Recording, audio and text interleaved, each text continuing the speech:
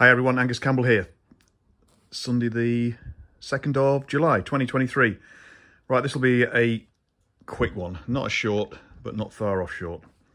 So, um, as you will have seen, we took this to a BSA Ariel 3 Facebook group event at Kinnerton in Warwickshire yesterday and uh, we thought it was all prepared and it let me down with fuel starvation. We couldn't keep it running. It would start 100 yards down the road, it would fail. And classic fuel starvation problems. In the process as well, um, the clutch, sorry, the choke cable appeared to break, but I found that um, there's a little, ooh, can't, there we go, focus. There's a little screw nipple here and the, the cable had come out of that, uh, but luckily it was in pretty good condition. So that's fixed. And these are terrible to start without choke. You can, but you need to pedal an awful, awful long way before they'll pick up off idle with, with no choke. So that's fixed. Anyway, as you saw, what we, what we did yesterday was um, we were trying to get, well, assess the fuel flow from both the tap here and down at the carb. And um, it was obvious that there's a lot of crud in the tank because initially we took the union off the bottom of the tap here, opened the tap and only a few drips came out. And if we pushed something up the tap, then it would loosen the crud and it would start flowing out for a while and we thought we'd be okay. Um, but looking at some of the fuel that came out, it was uh, full of crud and there's this uh, dome nut that holds the union on at the bottom there and that collects muck. And um, you won't be able to see this very well but in the bottom of that we cleared this out yesterday because it's full of muck and it's full of muck again. So I think what's happened is that in transporting this over to the event then I had a couple of hairy moments in the van and this flew around a little bit and nearly fell over and I think it's just upset a lot of crud in the tank which is now sitting over the tap. So it just needs to clean out. So uh, first of all what I'm going to do is um, let the fuel drain out through the tap out the bottom of the union and into a bowl and we'll we'll see what state it's in. Uh, I'll give the bowl a bit of a clean first. But let's have a look and I'll hopefully I'll show you then just the uh, what the state of it is. Well, it appears to be flowing out okay at the moment from the bottom of the tap, but it's a bit of an odd colour considering that um, the uh, two-stroke oil that I put into it was green. But also, let me just, uh, there we go, hold the phone a little bit better. And I don't know if you can see there in the bottom, all those black bits have come out. And you can imagine that getting down to the carb as well. So um, we'll let this drain out. We'll discard this fuel. It uh, only holds six pints is uh, maximum capacity on this, so it's not going to be much. But we'll let that all drain out. What we can do is lift the cover on the back there. The tank as you can see, is actually inside this top cover. So all the back will pivot up here and we get to the, the petrol tank and we'll probably remove it and give it a good um, clean out and wash out. And if it's the uh, you know inner surface looking a bit dodgy, we'll line it. We'll have to do it properly. Um, but um, haven't had this problem before with it, but I haven't done a lot of miles on it really. Anyway, still going. More black stuff there. There's some over there in the corner there as well. Tons coming out. So yesterday we had to back poke the uh, the tap because when it was open at one point there was nothing coming out at all. So I think that's what the problem is.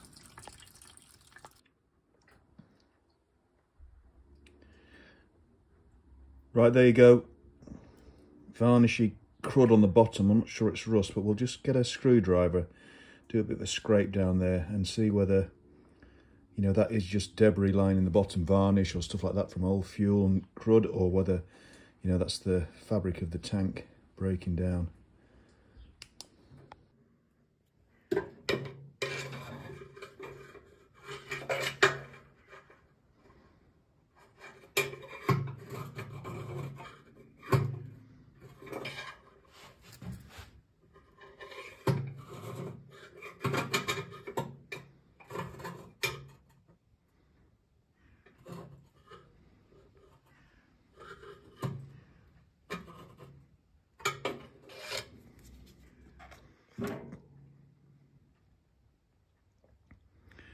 So it's not a very good view when I'm wielding the screw screwdriver, but what I'm trying to show you can see big lumps there of surface crud.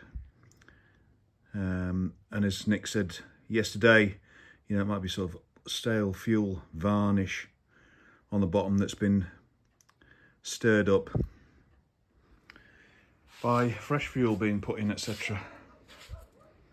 So, we'll take it off, do a quick clean out. Uh, tank fabric itself feels pretty good, I think.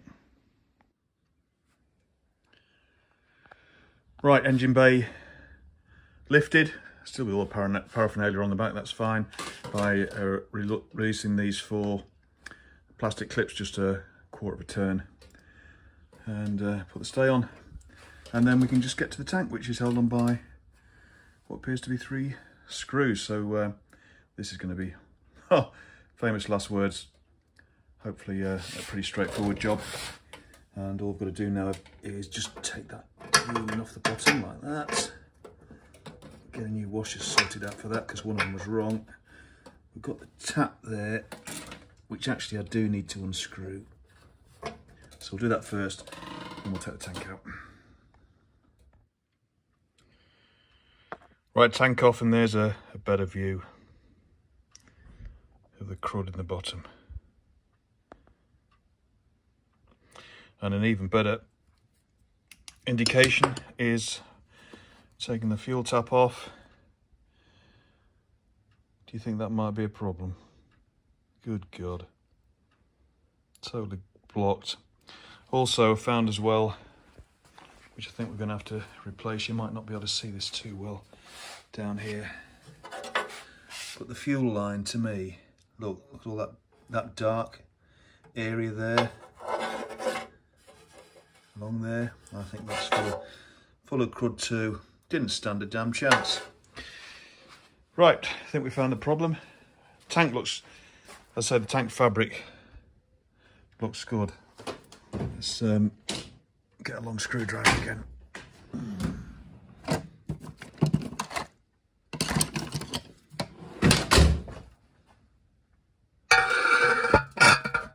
Look at that. See it.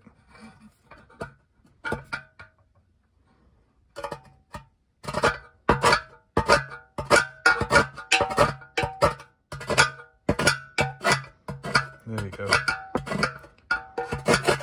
Clean tank underneath all that crud. So what we'll probably do is um, put some solvent in the tank, seal it up, where um, maybe a few nuts or something like that. I'll bolt, bolt some nuts and give it a good shake around. And that should sort it out. I'll bring you back. Well, it's better, but it's uh, it's not great. Um, let me get a torch for you, sorry.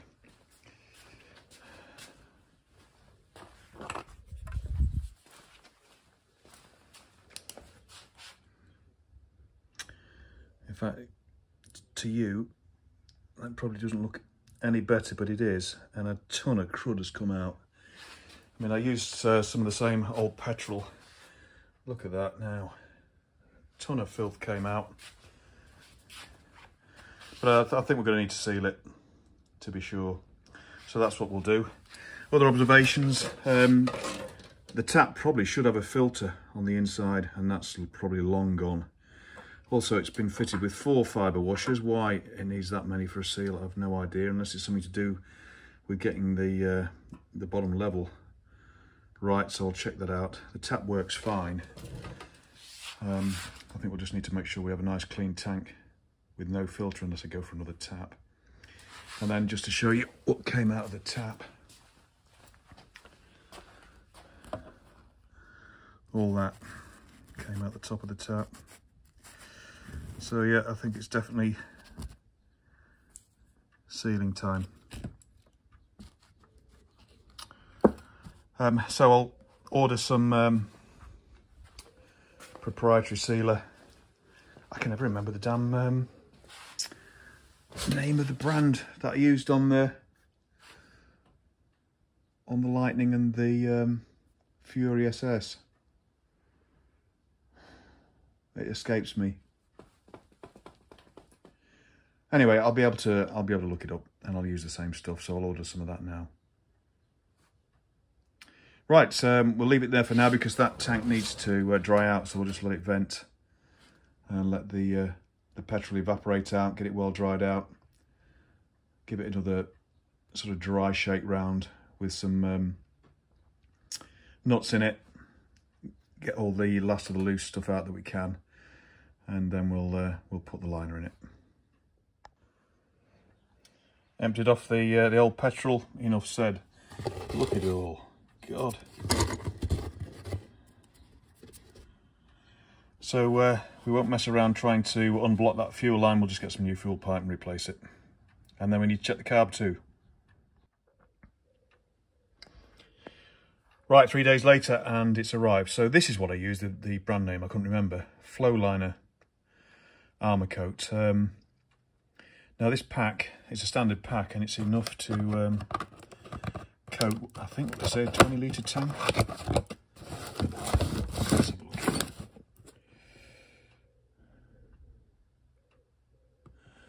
Anyway, resistant to um, alcohol, e.g. ethanol. You can also see seal fiberglass tanks with it too. Anyway, so essentially it's two pack, basically. You dump all of that in there, mix well, and then pour it in the tank. Um, I'm not going to need all of it, but um, I will mix it, all of it, and just not use it all. Um, you, um, you'll see how I used it in, in previous uh, videos. If you look up um, one on the Fury SS, I uh, lined that tank with it, and also on the A70 Lightning after we originally got it on the road and it's uh, it weeped a bit. Um, I'll try and dig those out and put um, put links in at the end of this uh, at the end of this video if you're interested. But uh, I'm just going to mix this up and pour it in, and then you uh, for quite a long while you just keep moving the tank around, side to side, upside down, etc. I've got the um, fuel tap hole blocked off, and then I'll just ram some um, shop what they call shop towel these days, it's an American term anyway, some rag down, some old rag down there just to block the end, and uh, just make sure you keep turning it around as it starts to uh, set so you get a good nice thick lining. Now, um, meanwhile, uh, I think as I showed you in one of the last clips, there was a huge great lumps of deposit around here on the fuel line and that little pile is what we got out of it. Unbelievable. Anyway, I was going to put some um, some new stuff on but uh, the original little pipe, which is a smaller bore actually, has, has cleaned out okay. And that new pipe that I've got is great for the tap end, but for the banjo on the um, carb end, it's really a little bit too uh, big a diameter. It's very loose. Could put a clip on in, on in that, but um, looks a bit of a mess then. So I think I'm going to actually reuse the uh, the original, and I believe this is the original pipe. And uh, where it was mucked up, you can just see remnants of it around here. I'm going to cut that anyway, and uh, I'm going to, I've got a little fuel filter, inline fuel filter on order that I'll put in line on that tank because, as I say, the tap, the original tap, which works well and doesn't leak, and which I've lost, here it is. Uh, no, it's not, that's the fuel cap. Come on, it's over here somewhere, there it is. Um, I'm sure that should have had a, filter on the top there, like uh, like on the big bikes. It's an Enots uh, Enots tap, so it should have. So as it's not got that, we'll put an inline fuel filter on this, and that that'll be job done. It'll be out of sight, out of mind. I know it's not original, which isn't me, but um, I think in this case needs must. Let's do belts and braces and get it right. Okay, so what I'll do is um, I'll get on with this job of lining the tank, and then uh, I'll bring you back because then we can um, sit that on the bike overnight, let it cure properly, while we uh, tidy everything else up. Okay, next day, and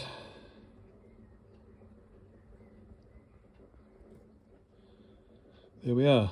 Trying to get the light in the right place, that's a bit difficult, but anyway. White, uh, effectively, epoxy resin liner. Now, uh, cured to a certain extent, but um, shouldn't put petrol in it for seven days. So, um, take the bottom plug out. I've just got to drill drill that out and uh, clean up the threads a bit before we put the petrol tap back on. I've already refitted the petrol line down onto the carbon, banjo right down there. And the petrol tap's ready up the top here. And when the fuel filter arrives, it hasn't arrived yet, then we'll fit it there in between the two uh, cable ties. It'll fit in there nicely. So, tank back on, we'll screw that on. Once we've um, drilled out the uh, the tap, the tap threads, etc. And we're there, and we'll wait seven days. So what I'm going to do now is, this was intended to be short, this uh, video, it's a bit longer than I thought it was going to be, but anyway, at least you know the issues now, how it's going to be, how it's resolved. And um, I'll finish this off, and next time we see this, it will be um, a test run on the road. And hopefully it'll go a bit better than last time. Right, we'll leave it there. Thanks very much for watching, everybody. Thanks for interest, comments, and subscriptions. Next up, um, back on this, finishing this off, and I'll get a video on that and uh, see what's been going on with that since we had the battery charging issues at the Mallory camp. I um, I thought I was going to be waiting for a bit from the apart from the US, but I've managed to find something in stock that I think I'll do, so we can get on with that in short order. Right, that's it. Thanks everybody. Cheers. Bye bye.